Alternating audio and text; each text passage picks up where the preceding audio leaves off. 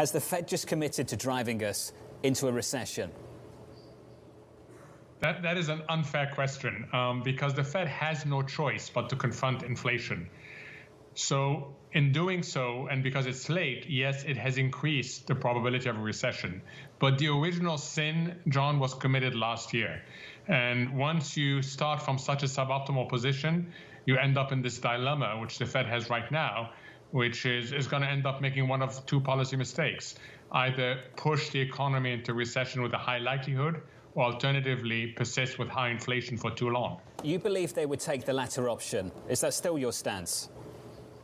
I believe they're going to flip flop. And that's the worst of all three possibilities. That they, right now, they're focused on inflation. As the growth consequences become clear, that they're going to ease their foot off the brakes and then have to slam on the brakes again. And that is my fear that they will end up flip flopping, something that we used to witness in the old days with central banks. And I, I worry that we may see it again. I hope we don't, but I do worry that we may see it again. Is that weakness clear now? And do you think their dual mandate is in conflict right now already? So it depends how you define the mandate. If the mandate is strictly defined as employment, no, the labor market is, is still doing well. If you take it broader and look at growth, indicators are that growth is slowing down. The Atlanta Fed is at zero for the second quarter.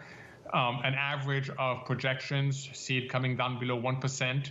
So growth is, is slowing down, but the good news is that the labor market is still strong. So, Mohamed, when Chairman Powell says this line from this morning, the Fed is acutely focused on returning inflation to 2%, how much damage do you think he will have to inflict on the economy to achieve that? unfortunately, he's going to have to inflict some damage, John. He's late. He's very late. He should have started last year easing his foot off the stimulus accelerator. He didn't. I always go back to the very simple factoid. The week in March that the US printed a seven handle on CPI, the Fed was still injecting liquidity into this economy.